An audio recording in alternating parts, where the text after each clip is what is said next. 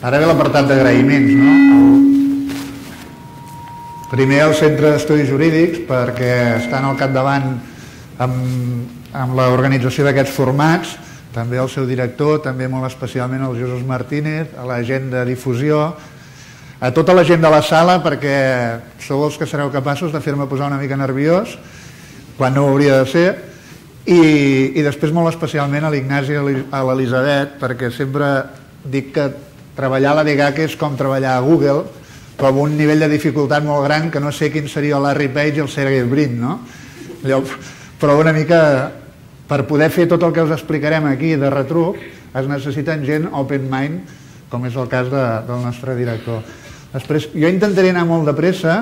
Ah, i volia dedicar aquesta sessió a una persona molt especial que l'estan ingressant a l'hospital i per això la seva mare i la seva àvia no són avui aquí presents. Té una malaltia forta, la Laia, però segur que amb l'energia de tots plegats l'ajudarem una miqueta.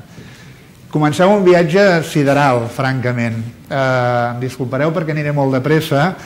Eh, internet, si alguna cosa té, és que ens permet accedir sobre el paper a grans quantitats de coneixement. I aquest coneixement, doncs, en alguns casos, per, per exemple, per a les persones bilingües, ens permet fer formular consultes als cercadors, en aquest cas a Google, per saber doncs, si girafa s'escriu en G o es diu en J, i ens acaba donant una resposta molt ajustada. Aquest interès per, per les cerques, per la cerca predictiva de Google, és ben curiosa perquè ens pot acabar donant uns resultats francament sorprenents, no? Mentre en català ens continuem preguntant si Déu existeix, en castellà li estan formulant reiteradament quin número de loteria serà el que guanyarà. O si ens posem una mica més transcendents i ens posem a preguntar per definir com és l'amor, unes altres persones estan cercant què vol dir aquesta paraula i quines conseqüències té, què vol dir la paraula consulta, què vol dir la paraula referèndum. I ja que estem parlant d'amor, en castellà trobem, podem formular la pregunta aquesta, ens ho va ensenyar una companya en un seminari, ho vaig trobar interessantíssim, no? veure qui pateix més, si la dona o l'amant, i quan intentem formular la mateixa pregunta en català, resulta que no, no la trobem, no, no pas perquè no, no passin aquest tipus de coses. Segurament avui en dia li hauríem d'acabar preguntant en francès, oi? Però, però, però a tot estirar el que trobem és que els calps tenim més probabilitats de patir atacs de cor i també segurament ens podem acabar perdent coneixements molt útils com els que ens ensenyi Isabel Llano eh, com escalants al serrell i totes aquestes coses. Però podem acabar trobant un altre tipus de coneixements, que vosaltres, els que em coneixeu, sabeu que jo estic obsessionat amb aquest vídeo, en, en veurem un trosset, si voleu, i si em deixa el programa, però són d'aquells coneixements que t'acabes preguntant realment és en anglès, però com que tots sou políglotes, cap problema, no? Com d'interessant pot ser saber com treure un tap de suro d'una ampolla buida d'una ampolla buida és una cosa apassionant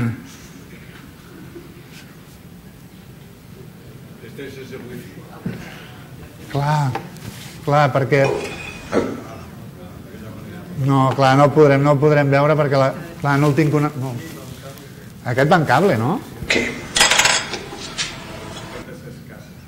Let me tell you that now I'm going to be able to Mireu, us el take passaré the cork manualment. off this bottle with Acaba d'introduir the bottle. el tap de suro i el que acaba fent, per si no sabíeu la solució, aviam si es veu i el tallem aquí, efectes del directe, acaba introduint una bossa. Haver d'explicar un vídeo així perquè bufa la bossa. Espera, poder que l'avancem més perquè si no no acabarem. Acaba bufant la bossa i quan la bossa és ben inflada li fuma una estrabada i surt el tap completament sencer. Això que per alguns pot ser una bestiesa o un... mira, aquest no tenia res més que fer que explicar aquesta explicar aquesta tonteria, oi?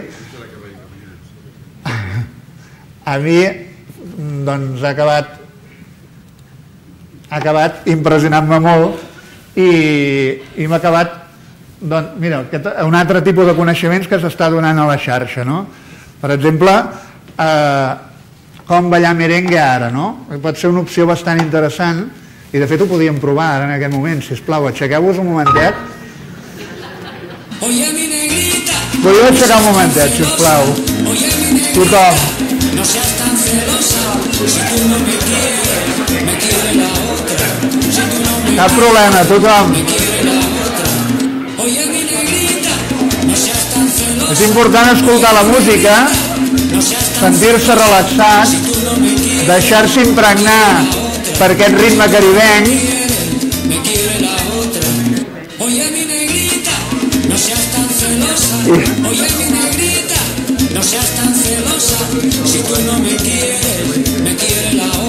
El que no havia calculat és que seria, si us plau, podeu seure, perquè ara m'he adonat que la frase no deia ballar merengue ara, sinó que deia com ara ballar un merengue. Això és importantíssim, el matís, me n'he donat ara, eh? perdoneu. Però l'observació és boníssima, acabeu de fer un acte que és de molt agrair. Acabeu de, de, de complir el primer requisit que s'ha de tenir per poder innovar, que és l'actitud. Aquí podem començar a adoptar què acabarà dient aquest boig ara, què, què ens acabarà proposant, però tothom s'ha acabat aixecant. Si algú no s'ha aixecat, assenyaleu-me'l en el dit. Perquè aquesta persona haurà de fer un curs d'innovació, vosaltres no. De debò que ha anat... Ho he llegit malament, eh? i després diuen que les llengües no serveixen per res. Com ara, ballar un merengue. No? Llavors, aquest tipus de coneixements fins i tot acaben esdevenint oficials. I fins, eh, els que molts d'aquí coneixeu doncs, els MOOC, els MOOC, els SPOC, com n'hi vulgueu dir, que coneixements de, de nivell universitari que mm, fins i tot pagant una mòdica quantitat doncs te'ls poden acabar certificant.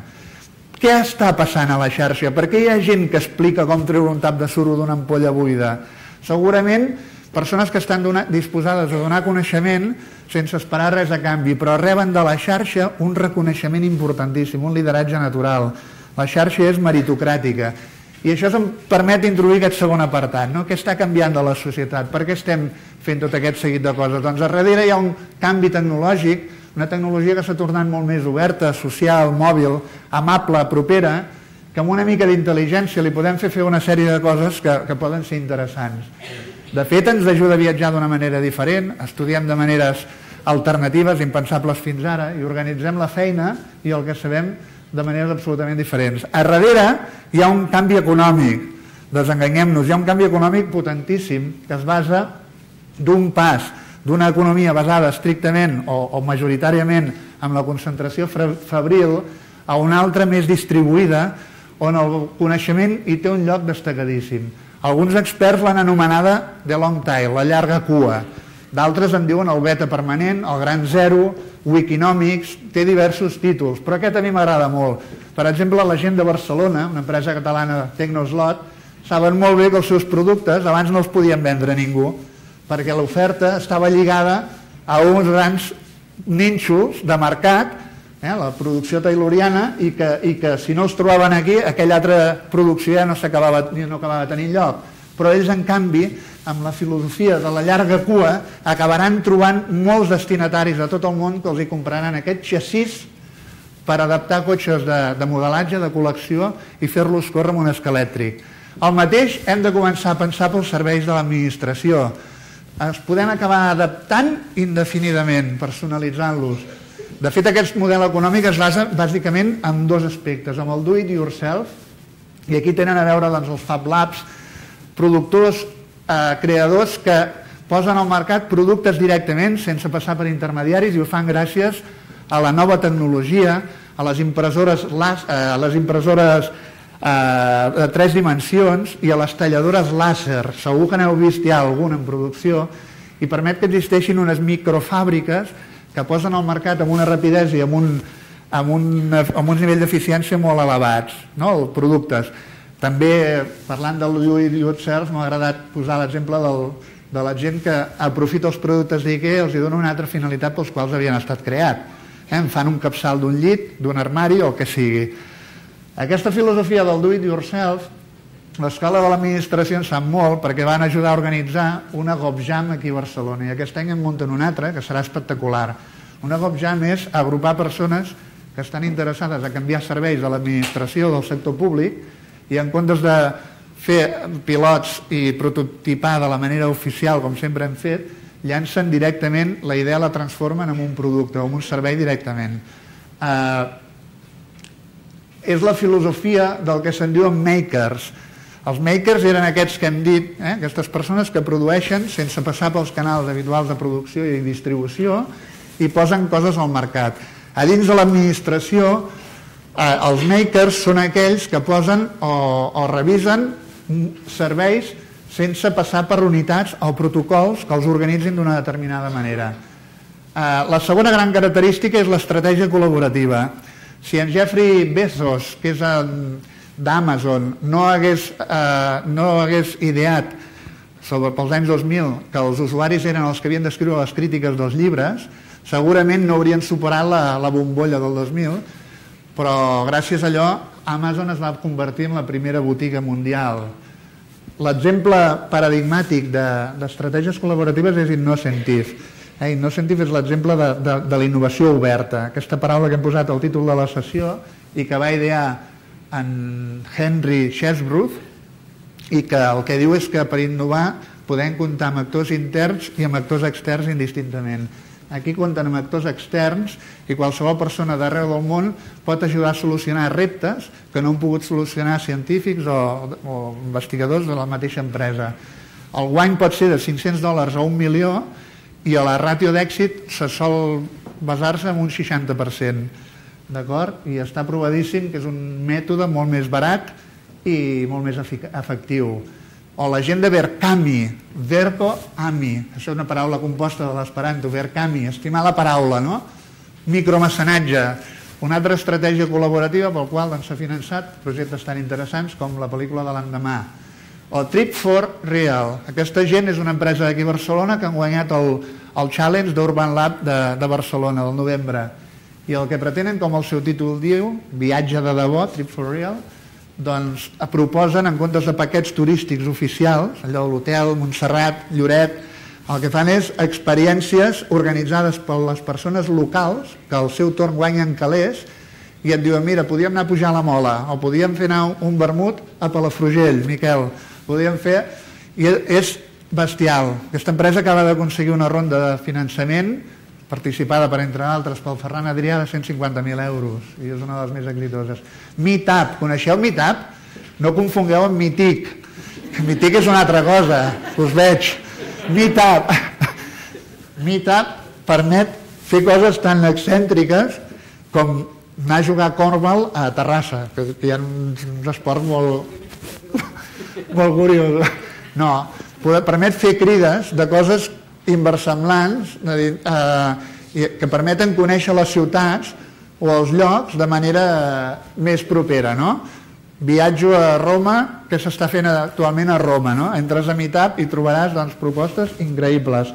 Pels que hagueu confós Meetup amb Mític, uh, Illicit Encounters, és un portal estrella a Gran Bretanya i el que permet és que persones que no volen trencar la seva relació sentimental doncs s'aboquin a un altre tipus d'experiències col·laboratives, però en un, altre, en un altre sentit. Però tornant a les pràctiques col·laboratives, que són les que ens interessen aquí, vaig tenir l'oportunitat de participar amb molta altra gent a Santa Mònica abans de Nadal en la selecció d'unes persones ben curioses. En Xavier Verdaguer, que és un innovador, que coneixeu tots, està a San Francisco, establert amb Imagine Express, eh, se li ha acudit la idea de novejar un AVE de Barcelona a París, nolejar, llogar un AVE de Barcelona a París. A París faran nit i agafaran l'Eurostar fins a Londres. Què perseguiran? Doncs hi posa un equip de persones, 18 eh, creatius, 18 programadors i 18 estudiants de negocis que han de treballar en, en, tre, en grups de 3 sobre quatre eixos. Eh, turisme, sembla que és eh, energia, mitjans de comunicació i socials els quatre guanyadors arribaran a Londres i aconseguiran finançament gent que posa capital de risc que aconseguiran finançament per les seves iniciatives, desenvolupament d'aplicacions, etc etc. i tornaran cap aquí, tornen a Barcelona, és molt simbòlic aquest viatge, eh? tornen a Barcelona i el presenten al Congrés Mundial de Mòbils i es generen quatre empreses que s'han d'anar a registrar a les incubadores de la ciutat. Tot això està passant al món i a l'administració passa res, passa res, doncs passa que tot es malden per intentar aconseguir adaptar els serveis als seus ciutadans. I a un cost, saben que això ha de ser un cost diferent. Eh? Per l'efecte de la llarga cua, ara ja sabem que el, el cost pot créixer indefinidament, perquè la personalització comporta un augment de cost molt gran. Però de l'altra banda, el fet d'actuar a les xarxes, que permet respostes agregades i socials a moltes consultes que abans no feien, el fet d'explotar les funcionalitats mòbils o donar valor amb la reutilització de dades, obrint dades, ens permet estalviar molts diners, no? que abans doncs, havíem de desenvolupar nosaltres, el que sigui. Hi ha un gran debat.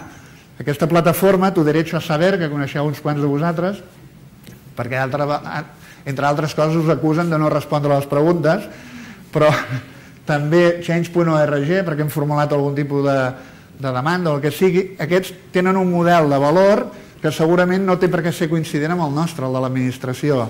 Ells intenten que nosaltres anem a respondre a les preguntes que els usuaris, els ciutadans fan aquí, no? però nosaltres tenim uns sistemes propis que tindria molt més cost, que, que permet traquejar les consultes, les respostes, en quin moment està aquella interacció que s'està produint amb el ciutadà. Si haguessin d'entrar totes les plataformes doncs seria una ruïna. Eh? Aquest debat, nosaltres com a Generalitat fa temps que el vam tenir, vam poder impulsar un mòdul que es deia Idees Obertes, que el que permetria era testejar funcionalitats d'una aplicació doncs, amb els usuaris, una, una proposta molt avançada, qui millor que els usuaris per dir-te com es podia millorar l'aplicació la, del Parlament 2012 ja de per si exitosa. I l'evolució d'aquesta idea, de, de les idees obertes, segurament aniria cap a algun tipus de ging o de widget que permeti interaccionar amb la ciutadania. I això sí que seria una inversió justificada perquè et permetria que tot aquest, aquest treball de, de proposta de suggeriments, votació, agregació i classificació final doncs es pugui fer amb una, amb una plataforma que pot ser personalitzable, molt simple, que pots incardinar dins dels teus sistemes d'informació, etc etc. L'interacció és importantíssim per l'administració, però l'exemple paradigmàtic segurament és We the People, el portal que va crear l'Obama pels vols del setembre del 2011. We the People, tu pots formular una pregunta i el govern americà, que sí que està acostumat a les preguntes i a les consultes, doncs eh, acaba posant-la si aconsegueix 150 usuaris que li donin suport, l'acaba posant els seus circuits d'informació i és trobable a través del cercador de la Casa Blanca. Si n'aconsegueixes 100.000, que és el llindar d'ara, estan obligats a respondre't i argumentar la resposta. Vaja, com aquí. Eh, hi ha una tendència a la coproducció dels serveis en l'administració, cada vegada d'una manera més natural, per cert, perquè ja han passat Reis, però això és Tàntrics, un joc meravellós, com un dòmino però amb hexàgons i que fa pensar molt. Si heu de fer algun regal. Eh, hi ha una tendència natural a coproduir. Hi ha uns quants exemples. Això està passant a fora de l'administració el perfil Twitter cop de mà una persona o unes persones t'ajuden a unes feines que potser en altres moments o bé les feia l'administració o algú més no? i et diuen com ha d'estar redactat aquell tuit o sigui, conté faltes d'ortografia aquest altre doncs gràcies a la farmàcia Argelaguet sé que no m'he d'anar a prendre l'atenció fins d'aquí dos anys. Això és una cosa molt senzilla, però és gràcies a un programa molt innovador del Departament de Salut que va subscriure amb les farmàcies, que no tot són notícies negatives, i que et permet prendre l'atenció quan abans havies d'anar al CAP. Eh? Important. A dins de l'administració, coneixeu els BOST? La gent d'interior, veig el Joan Antoni, segur que sí, els BOST són voluntaris, i el Joan, voluntaris d'emergència de, sorgeix als Estats Units i són persones que estan treballant a l'administració majoritàriament i es dediquen a viralitzar missatges positius o com a mínim verídics sobre notícies d'emergència. Tot això ve donat perquè hi ha molta contaminació a les xarxes quan hi ha una emergència. No? Per exemple, a València, aquest que deia jo no soy UPyD, deia que la, demanava que la gent portés motosserres perquè el foc estava arribant a la central nuclear de Cofrents. I era mentida, i era mentida. Davant de tot això la gent reacciona, s'organitza i ajuden a viralitzar els missatges oficials. Aquí a Catalunya, que funcionen també els missatges d'emergències, doncs també estan suportats pel BOST CAT. Eh? Eh, a la vegada fan crides a l'ajuda. La, Quan va passar amb l'Àlvia el desgraciat accident de Compostela, doncs van fer crides pel tipus d'ajuts que havia de portar la gent. I aquí hi ha un exemple també que tampoc podrem veure, i m'encanta, però eh, nascut de l'experiència del programa Mare i de, que té tota la raó de, de passar la història com un programa innovador que va ser ho compartim, doncs la gent de, de salut pública eh, estan treballant molt bé i sense que ho sapiguessin vaig tenir l'oportunitat de gravar-los en aquest, però no la podrem veure eh? com a mínim la persona que lidera la, la comunitat de pràctica de, d'inspectors de salut doncs ens va fer participar també en exercicis d'aquests eh? I, i una mica el que ens explicava, quina llàstima quina llàstima Dani, perquè el que ens explicava era que, que havien arribat plantejant eh, dins les seves feines d'inspecció de salut a les escoles se n'havien adonat a proposta dels mestres que podien crear un programa de gestió del coneixement amb mestres, eh, l'equip d'inspectors de salut, de salut pública, i amb la gent de, i amb personal d'empreses i d'organitzacions privades. Això és una autèntica comunitat de pràctica. Però la deixarem aquí i la tancaré perquè si no em començarà. Eh, i tot això, aquest canvi de model, ens porta a, a, a definir molt més concretament. No està passant tot això perquè hi ha una cosa que se'n diu innovació i que si l'organitzem una miqueta bé ens pot acabar explicant que podem aportar valor als que estiguin treballant al món privat doncs, de manera monetitzada i als que estem treballant en organitzacions públiques doncs, en forma de valor públic. I aquest valor és molt important que es basi en la innovació. Aquesta innovació ha de ser una paraula que heu d'aprendre tothom, disruptiva, perquè perquè si no és disruptiva no hi ha trencament amb el que està passant abans, no es canvien els processos. La innovació ha de ser disruptiva. Hi ha gent que aplica una capa tecnològica i diuen he innovat el servei de no sé què, i ens ha passat molt, per exemple, en altres àmbits, en alguns casos de l'administració electrònica i en altres àmbits també de, de nostres propis. Eh? Llavors, el, eh, és molt important saber això, no? que hi ha aquest trencament i que estem en una era, que n'hi diem l'era de social i de la convergència, en el qual una persona quan fa un like o un m'agrada t'està donant moltes pistes de quin tipus de serveis li has d'acabar donant i els altres no. I això l'empresa privada ho té molt clar perquè acaba llançant un CRM directament i analitza els hàbits i les actituds i l'administració, que podríem tenir un big data enorme, podríem acabar sabent cap on va la ciutadania i què vol. No? Eh, per tant, és molt important per innovar saber doncs, quin, quins actors participen, quina informació consumeixen, què volen consumir, com l'he de donar, i a més a més aquest model ha de ser vàlid per tots els professionals. No podem anar fent modelets que ens compliquin molt l'existència. Un exemple, diré un exemple molt senzill, però que enormement agraït de com ho heu seguit, és el que us proposàvem per l'exercici d'aquest curs, d'aquesta sessió, amb la Universitat Hebrea de Jerusalem hem establert cinc criteris d'unificació i us explicàvem en exemples propers de, de productes i serveis innovats per unificació, no? us dèiem allò del llapis que escrivia i que esborrava, etc etc. i heu seguit molt bé. Aquí, per exemple, la unificació hi ha hagut coses que si hi hagués el, hi haguessin inversors aquí a la sala els hi diria que invertissin en aquests, en aquests serveis, perquè és que si no estan perdent el temps, de debò.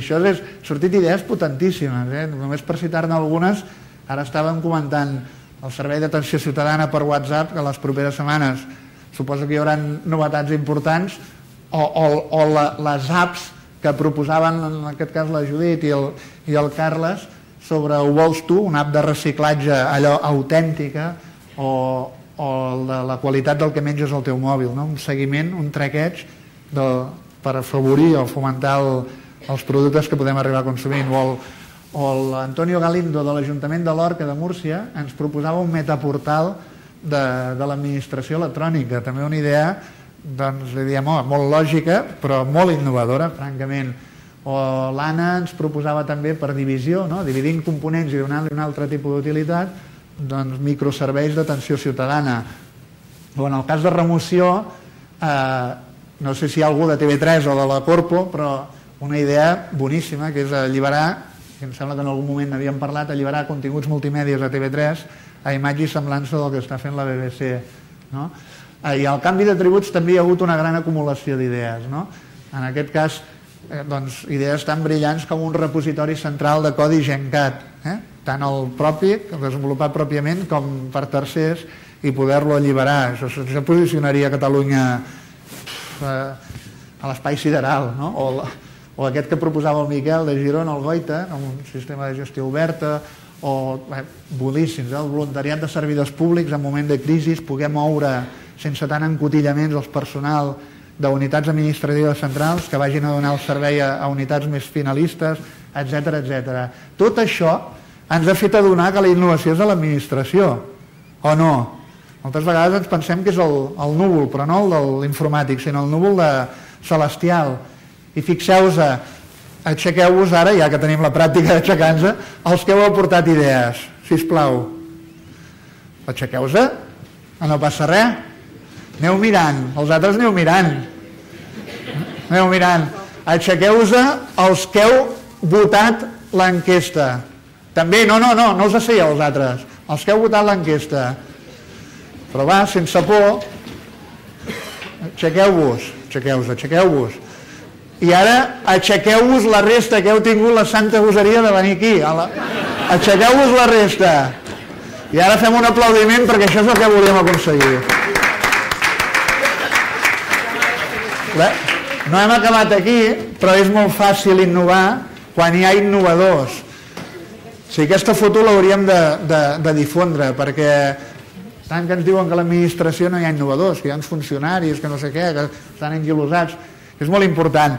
La, us parlaré de dues fórmules. La primera, ja me l'heu sentit algunes vegades, per innovar un servei hem de disposar d'un producte o un servei ben trebat, no, no un nyap, eh? un servei ben organitzat, i aplicant-li una capa de tecnologia i la idea que hem tingut, necessitem un tercer ingredient, que és que ens l'accepti l'usuari pel qual hem creat. Si no, no hi ha innovació. D'acord? Ho diuen la gent de McKinsey, en un dels últims estudis, que diu que la transformació digital ens permet innovar en la connectivitat, en l'operativa, en l'automatització i en la presa de decisions. Per tant, no, no ho diem nosaltres només. I aquí ha començat a ser la part interessant. Quan us hem preguntat, o quan ens hem preguntat, perquè jo també l'he resposta, que quina percepció teníem nosaltres mateixos de la nostra administració, no, de si estava molt digitalitzada o no, els nivells són jo no sé si tot arreu sortiria igual, però és per sentir orgull, allò proud, orgull total, perquè hi ha uns nivells altíssims, estem parlant de més d'un 30% d'un nivell molt alt. Això és una percepció, l'autoestima és molt important en la innovació, primer requisit. El segon és que quan preguntem que com ens veuen, ahir al vespre anava respondent gent, eh? però ja, ja, ja he aturat aquí perquè si no no podia fer la captura de pantalla. 135 persones bestial. Quan, hem, quan preguntaven que com ens veien, això semblava no sé si el, el, el futur referèndum o la futura consulta, però jo anava mirant la cònsula dels resultats amunt avall, amunt avall, més del 50%, menys del 50%, era d'infart. D'acord? Al final, allò del sí, sí, si no, no sé, pum, al final, la majoria de gent, molt poqueta, eh, considera que la seva administració o organització és, no és percebuda com innovadora. I aleshores aquí tenim un problema, que és normal, aquest desfassament Eh, I aquest problema segurament ens hauria de portar dues vies. Una, a impulsar encara molt més la innovació i l'altra, eh, a comunicar millor.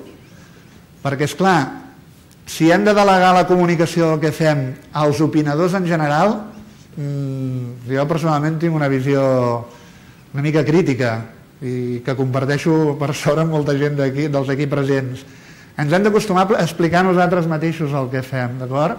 Hem anat avançant, això gràcies al, als bons amics del Club d'Excel·lència en la Gestió a les seves reflexions conjuntes que fem, dèiem que els serveis han de portar associada una proposta de valor. Si no, no ens acaba d'entendre la gent. D'acord? I, I un exemple molt proper, a mi m'agrada molt la bicicleta, perquè un va creant panxa, va spinning, eh, i l'spinning no s'acaba de moure, dius, saps què? Un dia et compraràs una bicicleta, d'aquelles que es mouen. Te'n vas a comprar una bicicleta, i el primer que veus dius, home, i si no me la compro i me'n vaig al bicing? Perquè és una idea molt més segura. No tinc cap mena de problema. D'acord? Eh, tal, però jo vic en una ciutat on no hi, ha, no hi ha moltes coses i no hi ha bicing. Me'n vaig a l'Alcampo, que a més més proper, i dic, tindrà un cost molt baix la bicicleta. Pot ser un criteri per triar-la, no? I me n'adono que el tipus de bicicleta que em donaven no m'agradava. Em costava, segons com més tibar-la, que no pas fer l'anar. I me'n vaig al Corte Inglés, que és la comoditat absoluta. No, no m'agradarà, li tornaré i a la millor ja l'hauré fet a servir tot. No? Allò, perfecte. tampoc m'acabava de convèncer, te'n vas al Decathlon i el Decathlon et diuen si és el sumum de les prestacions, perquè quan hagis enfilat aquell passadís t'hauran col·locat una bicicleta, el mallot, el, el colot i el d'allò, no? Però finalment descobreixo una, una botiga, que són els que paguen aquesta presentació, l'esponsor, que és l'Escapa, a l'Àlex ja la deu conèixer, i em diuen un món de bicicletes. I clar, l'eslògan diu, hosti, això m'està fent tilint, no? I a més em diuen que tindré cursos de mecànica avançada, bàsica, el que sigui, tecnificació, perquè si el múscul, que si no sé què, que si tomba... És a dir, tota una sèrie de serveis perifèrics que em poden complementar aquella, aquella idea inicial nuclear.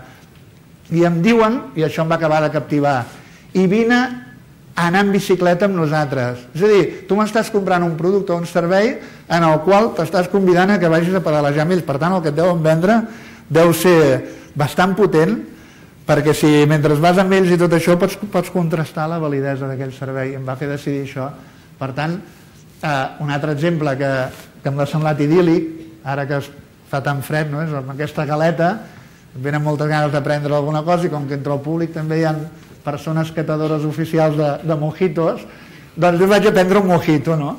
i t'ofereixen aquest mojito que ja està mig buit amb la llima així una mica eh, aixerraïda i una palleta i en canvi al, al bar del costat te n'ofereixen un altre amb unes folletes i una menta allò ben vigorosa, no? viva i tal, i és clar, la tria és facilíssima, no?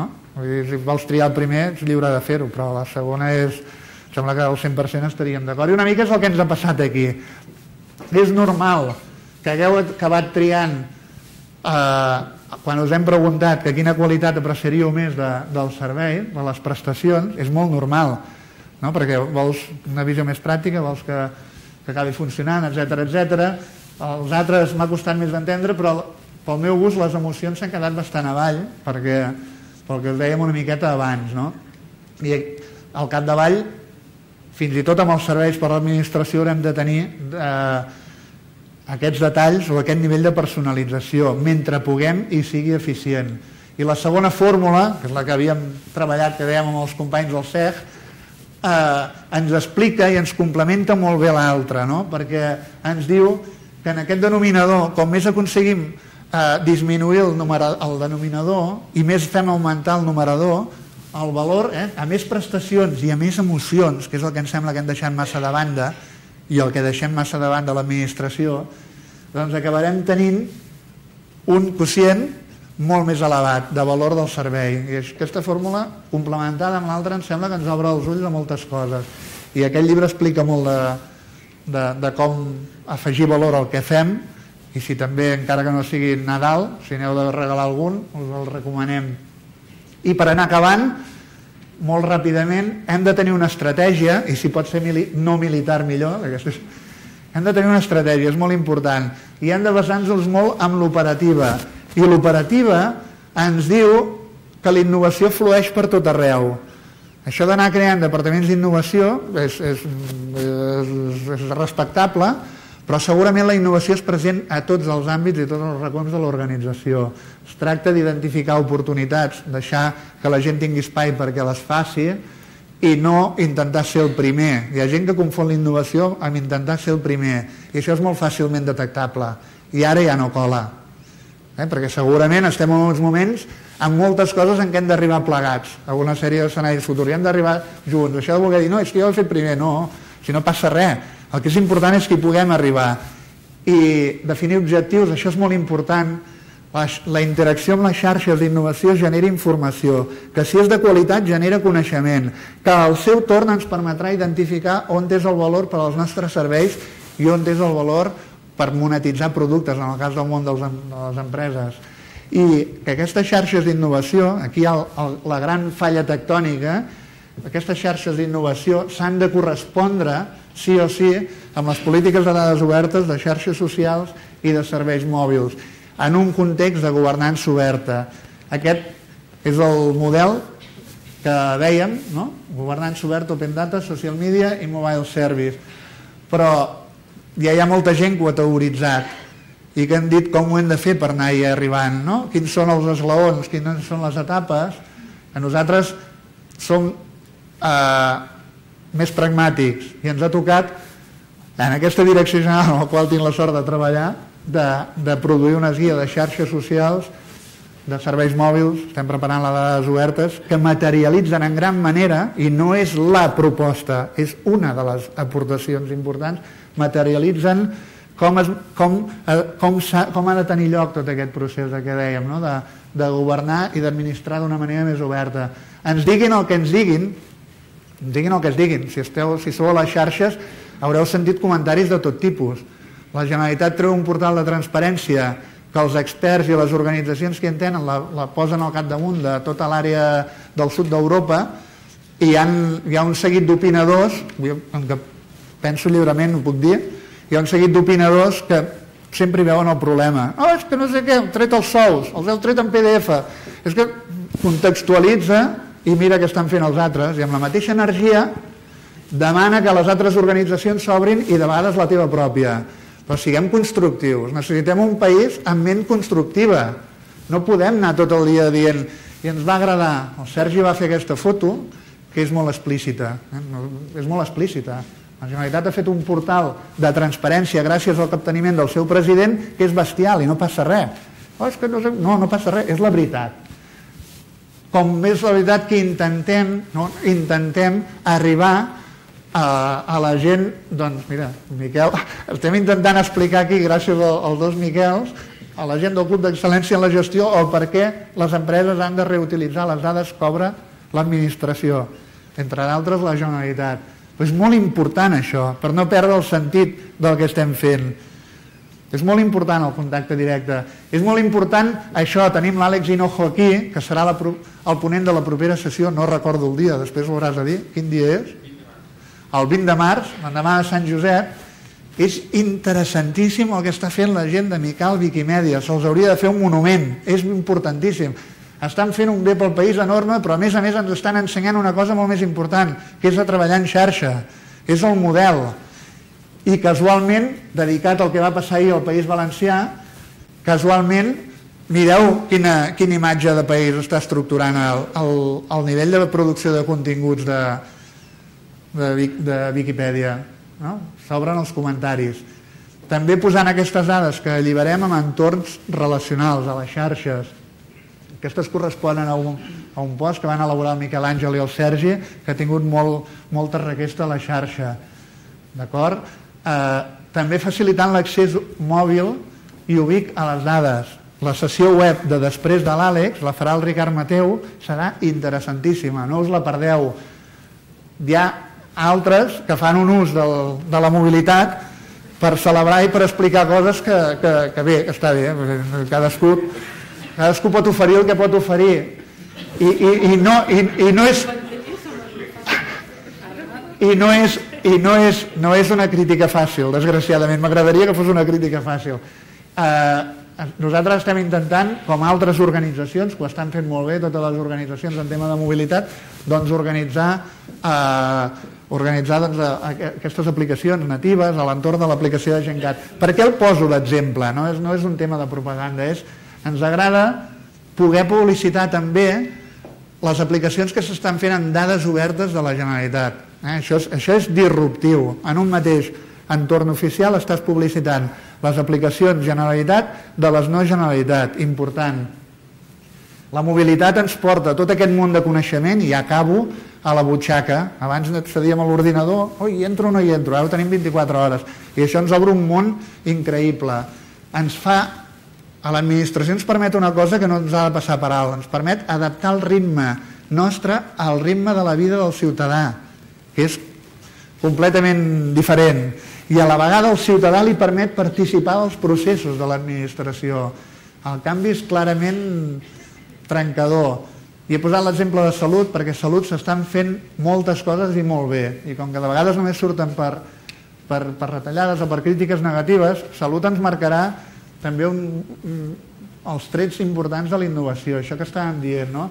Més informació, obertura de dades, eh, aplicacions que desenvolupen entitats perquè determinades patologies o malalties puguin tenir una, un, un cert nivell de seguiment, de monitoratge, d'informació, eh, el tema de les xarxes socials, el rol dels fòrums, de les persones que pateixen una malaltia és crucial eh? per, fins i tot per la millora d'aquestes persones i també per a la presa de decisions.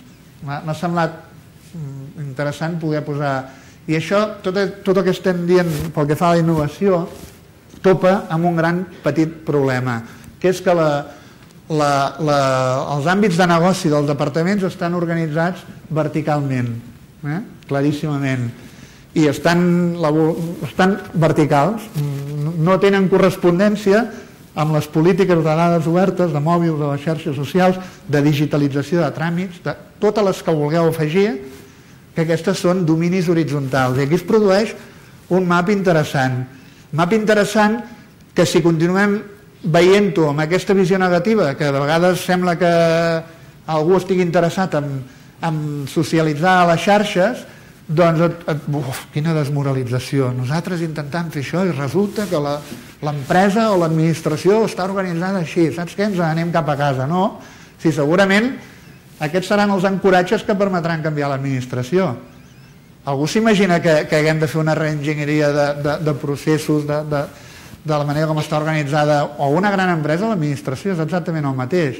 Són aquest tipus de polítiques les que podran ajudar a aquesta transversalitat. ETC és l'estació de treball col·laboratiu, una proposta que fèiem, que dèiem, de la mateixa manera que les àrees de negoci estan orientades verticalment, nosaltres sembla que afrontem la nostra realitat de cada dia de manera vertical també. Al costat nostre hi ha un individu o una individua que està fent alguna cosa anàloga o exactament el mateix que nosaltres, el del nostre àmbit de competència. I no tenim cap possibilitat d'interacció ni de comunicació, involuntàriament, això sí, però cada vegada que afrontem un procés d'aquest és com si portéssim un botó al cervell que posa reset i resetegem. I tota la inversió de coneixement que fem per afrontar allò és començar des de zero això és costosíssim. Necessitem liderar un, algun tipus de processos que ens permeti el programa Compartim és l'exemple el que estan fent a salut pública, el que està fent gent d'ensenyament, el que estan fent gent a, a benestar, és molt interessant intentar vestir aquesta estació, compartir totes les informacions que ens arriben, si estem compartint el mateix, doncs que els RCS siguin compartits, que el que estic llegint jo no vagi a llegir l'Eva o l'Elisabet, que el que estan llegint el, el Xavi, doncs el, aprofitar el que fa l'altre, treballar col·laborativament a les xarxes, compartir fitxers, seria un error que comencéssim a posar límit a l'accés d'aquest tipus d'eines i no ens ha de fer cosa dir-ho, perquè és aquest tipus de pràctiques col·laboratives el que ens ha de portar a unes millors cotes d'eficiència a l'organització. L'etiquetatge comú, allò que fèiem abans amb el navegador, aquesta pàgina de, de disseny m'agrada, me l'etiqueto i me la guardo en local. Ara ha el Digo, el, el Delicious, hi ha 50.000 aplicacions que et permeten compartir-ho amb molta gent. La producció de continguts, etc etc. I això és el final. Hem après tres grans coses. La primera, que teniu una capacitat bestial com innovadors, almenys l'he pres jo, la primera. La segona, que aquest, aquest potencial d'innovació s'esdevé de la interacció continuada de les xarxes d'innovació. I la tercera és que aquestes xarxes s'han de relacionar amb un entorn més macro. No ens podem quedar amb les experiències micro aïllades, sempre ho comentem amb, amb la gent del compartim, amb totes les iniciatives innovadores Vol dir que hem de trobar un marc estructural i la governança oberta és ideal per encaixar totes aquestes xarxes d'innovació amb les polítiques de govern obert. I, I això és molt important. Com deia en Gary Hamel, ho diu, és bestial, el factor diferencial és la creativitat, la imaginació i la passió.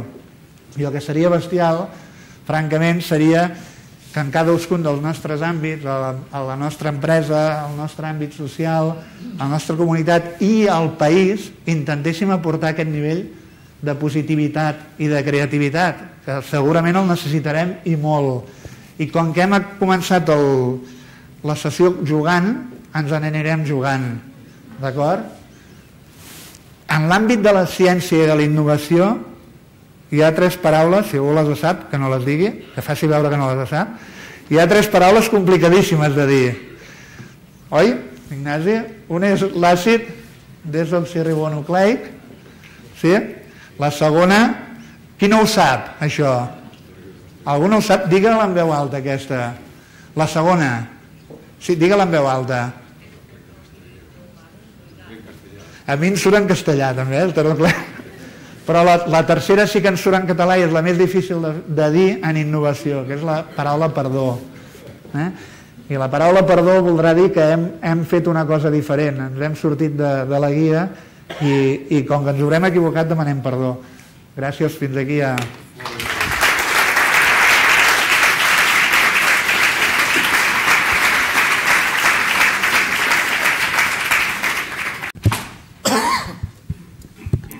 Moltes gràcies, Jordi, per la teva excel·lent eh, intervenció.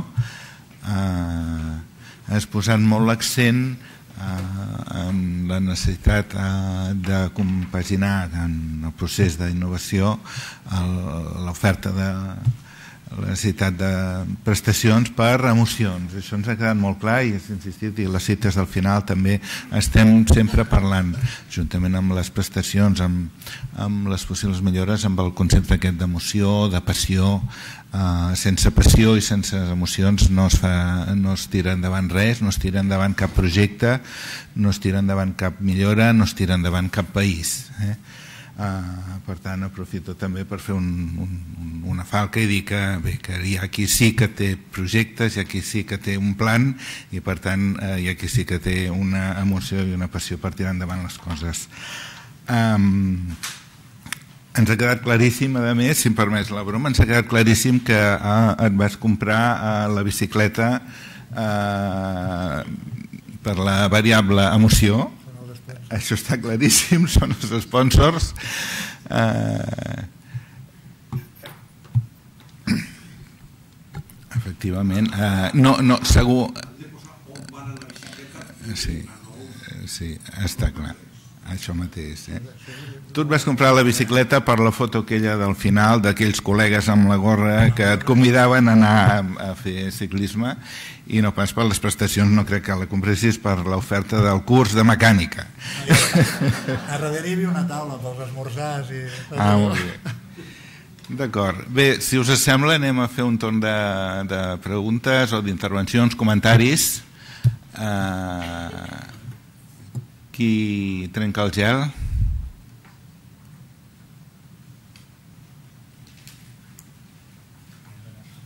mateix.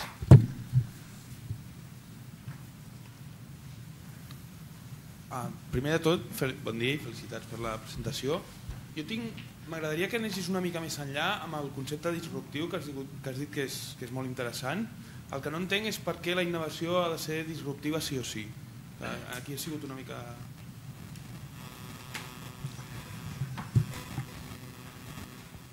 Sobretot Sobretot el que volia era marcar distància amb tal com es planteja la innovació avui en dia. Evidentment que innovació disruptiva no vol dir una idea nova. Eh? Aquí hem d'aclarir, jo crec que semànticament no vol dir tenir una idea nova. En, molt, en la majoria dels casos es tractarà de millorar una cosa que estiguis fent. De fet, les idees que han sortit, vosaltres sabeu més, no? heu proposat unes idees boníssimes, basades molt en la realitat de cada, de cada organització.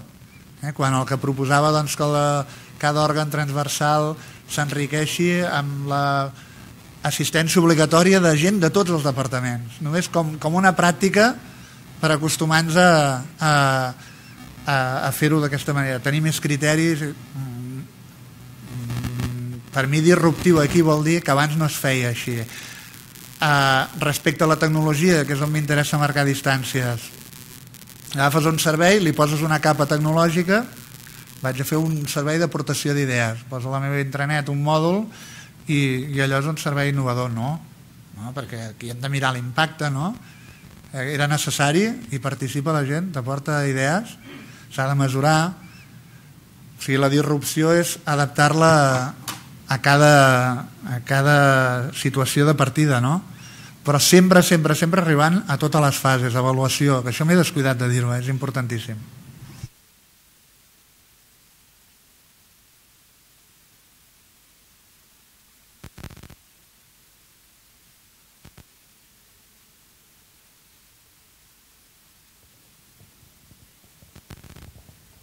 Bon dia.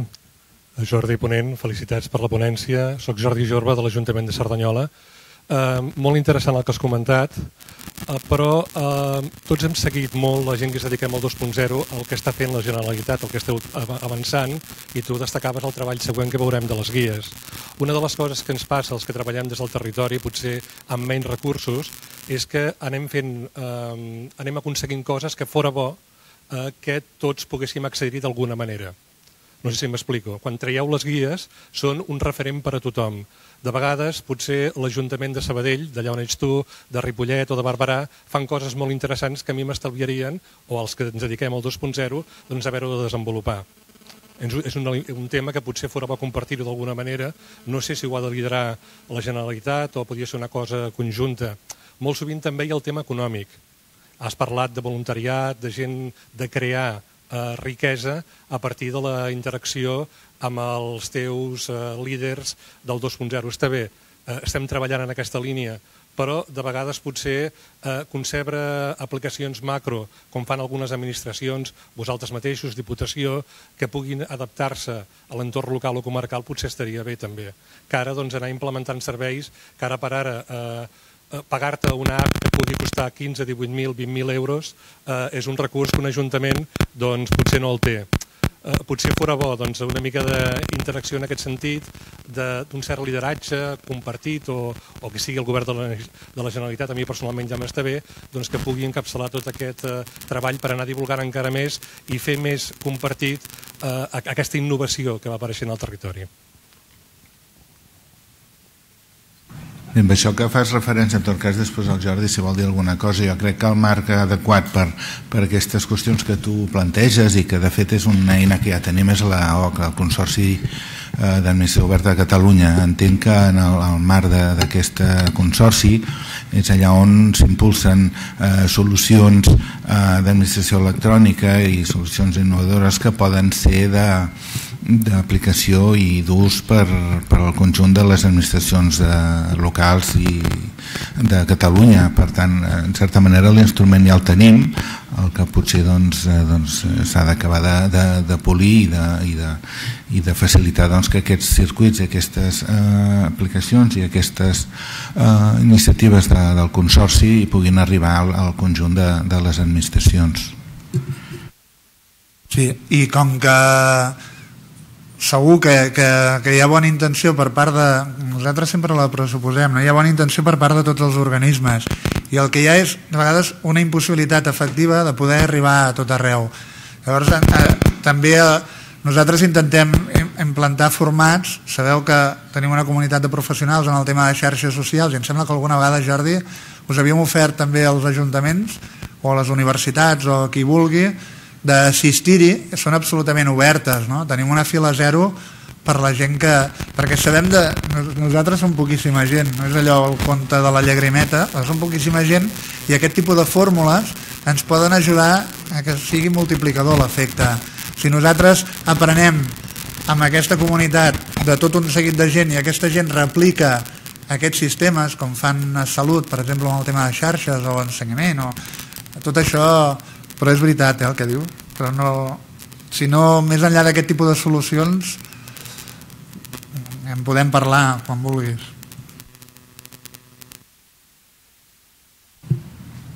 Què més?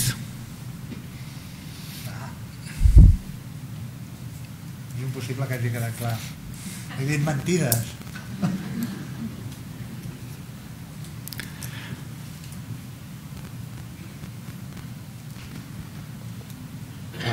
soc Francesc Saró, felicitats per la presentació.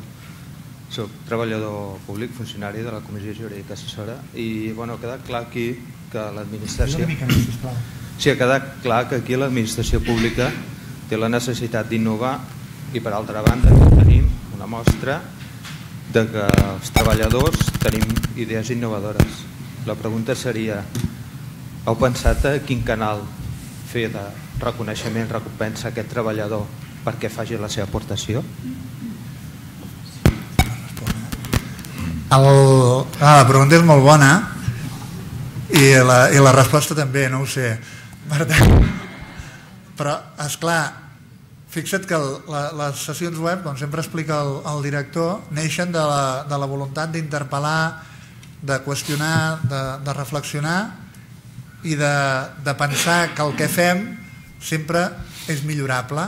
Eh, tot allò que hem dit, fet, potser no ho he dit perquè no tenia gaire temps, però tot el que he dit es pot fer molt millor del que fem. No són ni medalles ni són res, senzillament és un principi d'humilitat de reconèixer que podem fer les coses molt millor. A cadascú l'interpel·lem o directament o indirectament a la seva consciència que hem d'anar avançant en aquest camí de la millora. No, hi, ha, hi ha coses que les hem de conèixer entre tots. Nosaltres només coneixem una petita part, però a la mesura en què som capaços de compartir-la amb vosaltres i d'encaixar-la amb, amb el que sabeu vosaltres, el coneixement es multiplica de manera exponencial. Si una persona que sempre ha viscut aïllat en la seva unitat no pot acabar d'entreveure de, de, que obrint la finestra al món passen milions de coses a cada instant, nosaltres estem aquí per ajudar i per, per, no, no perquè siguem millors, sinó perquè potser la història ens ha col·locat en un lloc on ens ha donat l'oportunitat de ser antena de tots uns fets que estan passant. Més enllà d'aquest paper, d'un rol, jo em sembla que, que molt humil, no? d'estar allà i de poder ajudar els altres a, a fer aquest recorregut. Ara el recorregut l'ha de fer tothom. No es tracta tant de crear, al meu entendre, no artificialment, però sí artificiosament o, o exprofesso, allò una, de dir, no, és que ara anirem a, com que ens agraden molt les idees que es van exposant aquí les sessions web, o tots els fòrums que fem, tots plegats i tal, anem-ho a crear així com estàvem acostumats a, a construir les coses abans. Ara les coses es creen per acords, uns acords mínims, perquè cada vegada tots estem, l'audiència està més fragmentada, les creences també, creem en bastantes menys coses que abans, i hem de saber arribar a la gent d'una manera diferent, pel convenciment i per l'encaix. Si intentéssim dir, no, mira, sortim d'aquí, creem una unitat d'innovació i li donarem la volta a l'administració com un mitjó. Segurament aquest mitjó tindria un forat a la punta enorme, no, no, no, no serviria. No serviria. En canvi, si de mica en mica cadascú des del seu lloc de treball, des del seu àmbit, comença a plantejar aquests temes amb tota la naturalitat del món, que hi ha una cosa que es diu tecnologia i que no és allò que fan els del CETITI, sinó que la fem al, al capdavall tots plegats perquè és molt social, perquè tal, perquè ens pot ajudar i ens pot treure un problema, a mi em sembla que aquesta semblaria que podria ser la via, però n'hi han 50.000 de vies, eh?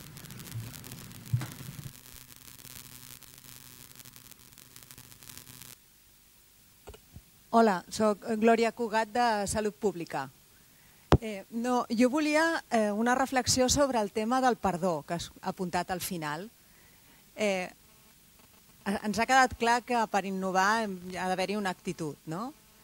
Però hi ha un tema que també crec que com a administració també ha d'haver-hi l'actitud, és la perdre la por a de que moltes vegades quan intentes innovar t'equivoques de fet, les empreses, doncs jo que coneixo més el sector alimentari, doncs en un any igual poden treure al mercat, intentar treure 10 productes i al final només n'hi ha un que respon a les expectatives no, del consumidor. De vegades es demana que per innovar estiguem tan segurs que això serà un èxit dintre de la pròpia administració que fa com por basarda o poses masses traves, no? A, a tenir la seguretat de que allò que pretens posar en marxa estarà ben rebut, sortirà bé, serà tot fantàstic, eh, no es passarà el pressupost, etc etc. no? I crec que, que els treballadors tinguem ganes d'innovar, doncs evidentment està molt bé i és la base. Però també la cultura de l'organització ha de ser més oberta i perdre aquesta por i entendre que segurament ens equivocarem moltes vegades perquè perquè en surti una de bona n'hi haurà nou que, bueno, que no sortiran bé. No? Llavors era una mica com, com afrontem aquest canvi ja de l'organització. No? Uh, la teva explicació és boníssima, per tant, eh, és, és que podries haver estat aquí dalt explicant l'última slide perfectament, jo no ho he fet, i, i és això el que volíem dir amb aquesta diapositiva. Amb això tinc una opinió una mica estranya, que és que dic estranya perquè algú dirà, mira, Graells Mm, fa molt la pilota a l'administració. Jo parteixo de l'idea que el que a mi personalment m'ha donat l'administració no m'hauria no donat cap altra organització. I he treballat amb organitzacions que no són administració. En el sentit de que has coincidit primer amb una gent meravellosa, bona part de les quals esteu avui aquí, però meravellosa, amb, un capacitat, amb una capacitat i un potencial mm, de fer les coses discretament, però amb, un, amb, un, amb molta capacitat, i a la vegada perquè les hem pogut fer. Imaginem què hauria passat amb el, amb, almenys jo intento analitzar tot el que hem acabat fent i el que encara volem fer plantejat en el món de l'empresa privada, jo ho veig d'una manera rara o ho veig d'una manera molt natural. Hi ha, hi ha moltes més dificultats. I aquí una mica invoco aprofitar aquesta facilitat que ofereixen aquest tipus d'organitzacions per inocular el, el virus de la innovació. Si tu una persona vas i li intentes explicar amb tot el principi aquest d'humilitat i d'objectivitat que allò ho podem fer d'una manera diferent, direu, sí, però de vegades tot el que vulgueu. Però hi ha unes possibilitats enormes de que acabi sent que sí. Aleshores, no sé si hi ha gent de departaments o d'unitats d'innovació, ara el Miquel ens, ens parlarà també, ells tenen molta expertesa com a, com a club d'excel·lència en la gestió, però jo només això t'avanço que a mi em sembla que la, la idea d'aquestes sessions web i d'aquesta especialment era eh, demanar-vos un, un esforç molt gran a nivell personal per tirar endavant i no defallir amb el que ja estem fent i que ens sembla que ho podem acabar incrementant, no? d'encaixar amb la gent, treballar més en xarxa, compartir experiències, marcar-vos reptes, no marcar-vos objectius inassolibles. Fem plans de vegades que, que estem posant uns objectius que, que no sabem d'on caram han sortit. El, els objectius han de ser reptes, però també s'han de poder complir. Mm, hem de... Jo més enllà d'aquí no, no tinc la solució.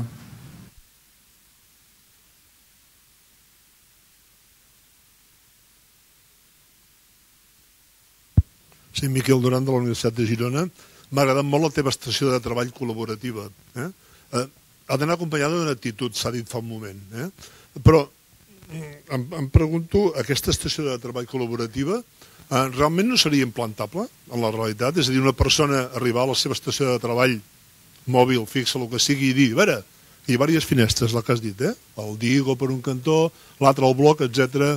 com fer propostes d'innovació, com rebre'n, com treballar en xarxa això era una petita intervenció. L'altra és, has dit que l'administració, gràcies a la innovació oberta, pot adaptar-se al ritme dels ciutadans. De veritat, jo crec que cal una revolució social per fer això. L'administració com a organització social ha de canviar substancialment si realment s'ha de complir el que dius tu. Tens alguna pista de com pot canviar? Amb la mobilitat. He dit concretament amb la mobilitat. Adaptar-se al ritme vivencial del ciutadà i amb la mobilitat, perquè de la mateixa manera que estem dient que podem en, som a dins d'internet gràcies a la mobilitat les 24 hores del dia, eh, aquesta mobilitat revolucionarà de manera impensable i com formes que no ens podem arribar a imaginar ni, ni, ni per casualitat eh, el, el nostre existir com a persones, socialment i com a, com a professionals. I, i pel que deies de, del que fa de... La, jo la, la idea de l'estació de treball col·laboratiu és una idea bastant en brut, però que és fàcilment implementable a cada organització i després, evidentment, a les altres organitzacions. Això segur que jo espero que l'Àlex ens il·lustri bastant. Per nosaltres, eh, ara poso el barret de la xip, el nostre model d'organització és Viquipèdia, l'amical, però que tu també em sembla que coneixes molt de prop, Miquel. I, i, i després, clar, imaginem-nos, no? lectors d'RCS. L'Adobe, el, el Google Reader ens ha fet una mala passada desapareixent, no? però amb Feedly, amb el, amb el lector del, del DIC d'ara, tot això, doncs, el que es tracta és de tu fas una cerca sobre determinats mitjans digitals, sobre determinats articles de la Viquipèdia, sobre determinats fonts d'informació del sector públic i, i allò que estic consultant individualment i que l'Ignasi està consultant individualment confluïm en aquell mateix lector. Jo comparteixo, i ell em comparteix carpetes i el que està llegint ja, ja t'ho dona filtrat. Ai, és bestial, no? És una cosa molt senzilla. No?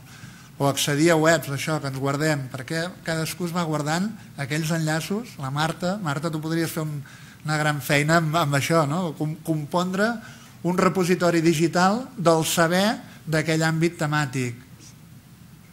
És, és, és molt costós, eh? Cada vegada que has d'entrar És com les unitats compartides. Si no trobes un document amb aquella unitat que estàs compartint, de què serveix? No? A vegades es confon això de les xarxes amb el desordre. No, unitat compartida, ordena-la, perquè he de trobar el document. L'he de poder cercar, però l'he de poder trobar també pel directori.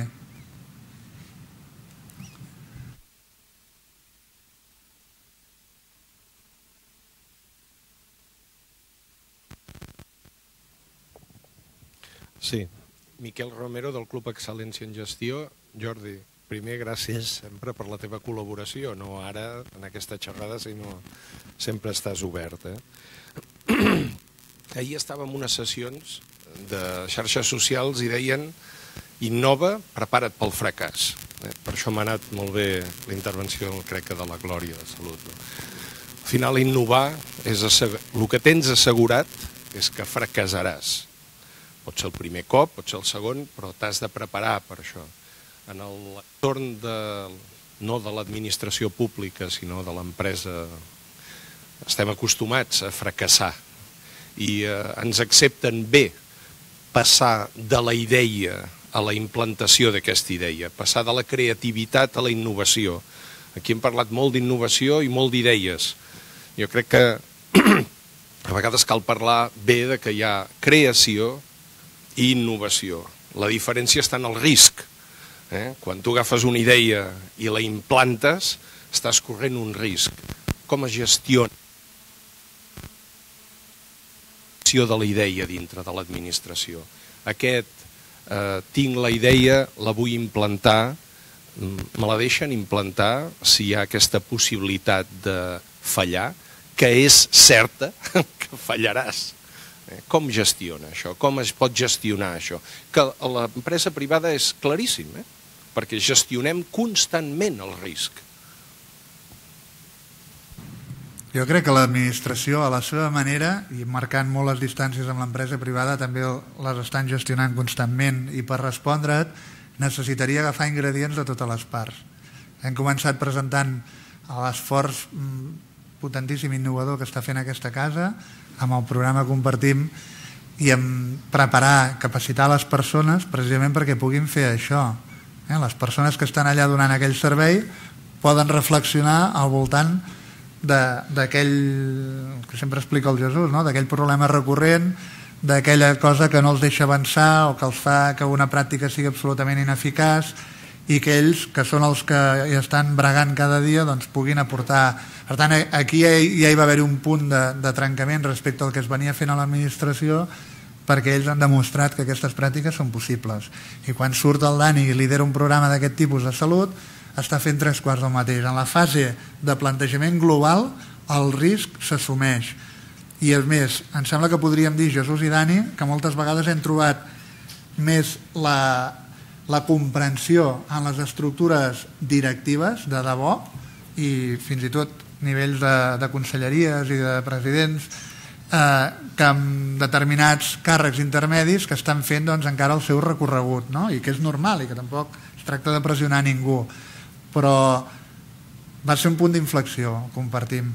Eh, preguntant el que he dit abans un company aquí de com podíem acabar implementant això seria part de la teva resposta és a dir, no teni... una part del que he dit jo abans, de la meva intervenció, mm, no creiem que les unitats d'innovació si tendeixen a, acabar creant i posant personal al voltant d'allò i a burocratitzar una miqueta, no ens sembla que sigui la millor, la millor idea. Eh? Jo no sé, em sembla que hi ha com una inèrcia a l'administració de, i a les organitzacions grans a burocratitzar amb accés a les coses. Per tant, una certa flexibilitat algú que va obrint camí i que planteja que quan algú està qüestionant una cosa sigui ben rebut i, i ho entenguin com a part del procés i, que, i després només falta el tercer ingredient, trobar-te en àmbits, en unitats, en àmbits directius on aquesta sigui la cultura.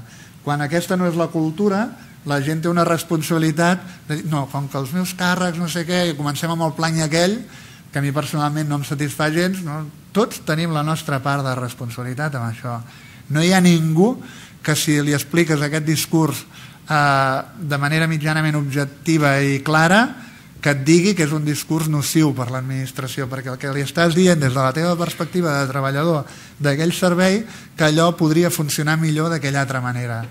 I amb la, amb la idea d'escoltar-te, de, la primera part de la fase, amb la idea de, de comprar-t'ho, la segona part de la fase, de la, del procés, i la tercera part és amb la idea d'assumir que si allò va malament no passa res. Estem, hem estat educats nosaltres perquè el fracàs ens espanta, però hi ha moltíssimes coses que fracassen i no ens ho diuen, o no se'ns diu, o no ho diem. No els passa? Doncs, per què ens ha de fer por això? Més o menys, eh? Sí, també voldria apuntar que a veure, la innovació és la gestió, efectivament, la gestió del risc i la gestió de la dificultat eh, enllaçant també una mica amb el que comentava la, la Glòria, no? eh, amb dificultats n'hi ha centenars i, i ens hi trobem diàriament dificultats d'ordre pressupostari de recursos, dificultats d'ordre administratiu dificultats eh, de tipus jurídic sota la direcció general ens topem 30 vegades cada dia amb la llei de protecció de dades bum, 30 vegades no? és, és això ara bé mmm, enfront de totes aquestes dificultats, eh, eh, evidentment hi ha d'haver una determinació de, de, de les unitats directives en, en, en, en promoure doncs, el, els processos d'innovació i per tant eh, és una mica el que deia el, el Jordi, no? a base d'anar doncs, picant pedra, d'anar insistint, una mica la, la, aquell símil que ja feia la presentació de les guerrilles, no? eh, doncs a base d'anar creant eh, guerrilles i d'anar i d'anar fent grups eh, que puguin treballar en xarxa, doncs bé, en podem anar tirant endavant les coses. Que hi ha la por al fracàs, evidentment, eh, i això és més con natural eh, en la cultura nostra europea que en l'americana. Eh, és perfectament que els americans, en el currículum, en els americans posen, eh, en el currículum professional, posen els fracassos que han tingut. Mira, jo vaig crear aquesta empresa i vaig fracassar, i vaig crear aquesta altra i em vaig estavellar. Però la tercera, doncs, bueno, me'n vaig sortir. De, no? Eh, la gestió, el, Uh, això és, és molt de la cultura americana uh, uh, aquí en el, en el nostre entorn ens costa més però jo penso que, que, vaja, que amb determinació doncs, uh, uh, es poden tirar endavant molts projectes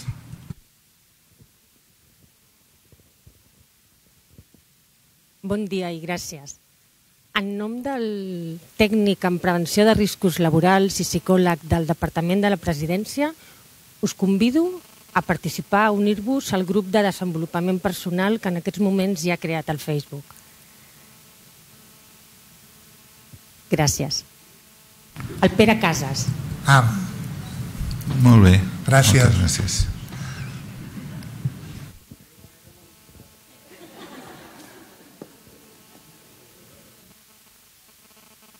imaginatiu Però si voleu que també siguin publicitat. Però aquesta no ha pagat com la de les bicicletes. Sí. Les bicicletes sí que... Han de parlar després, no? Aquí al mig. Voy a hacer publi. De Canal Empresa vam tenir una idea innovadora que és demanar fotos a tothom. Canal Empresa l'han muntat amb imatges d'ús públic i estem intentant ara començar a demanar que qualsevol, funcionaris, no funcionaris, gent, ens pugueu enviar fotos. Només cal que poseu el tag EmpresaCat a Facebook, a Twitter, a Instagram. Poden ser fotos de molts tipus, perquè si mireu Canal Empresa veureu que hem sigut bastant imaginatius, no ens ha quedat més remei, molt metafòrics amb les imatges, aleshores tenim de tot, tenim abelles, tenim ocells, tenim momento publicitari, us demano fotos per Canal Empresa, que és, és de tots. Aquesta idea, aquesta idea mereix un aplaudiment, perquè és, que és molt bona. Eh? Judit, que us cedeixin els drets per això, eh?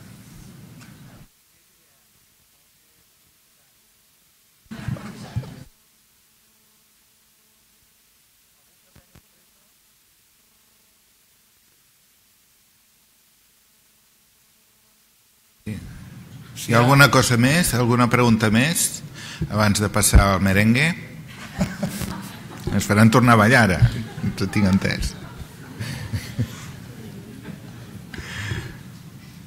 No voleu demorar el merengue?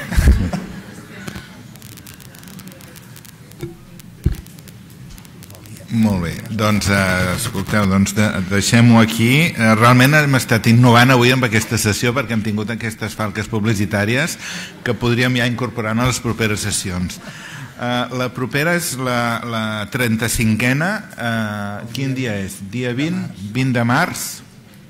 Dieu tu mateix, que no... no, no amb Àlex Hinojo de l'associació Amical Wikimedia que a més a més d'haver rebut el reconeixement internacional doncs tindran el reconeixement nostre amb una forta assistència perquè ens explicaran coses interessantíssimes. I gràcies per la vostra fidelitat. Vinga, gràcies i que tingueu un bon dia